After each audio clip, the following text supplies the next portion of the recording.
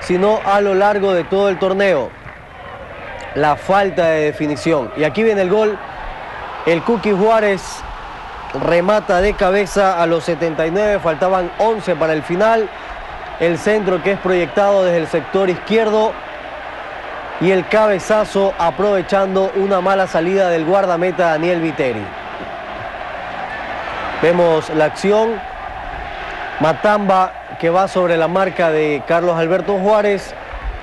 Y el cabezazo que se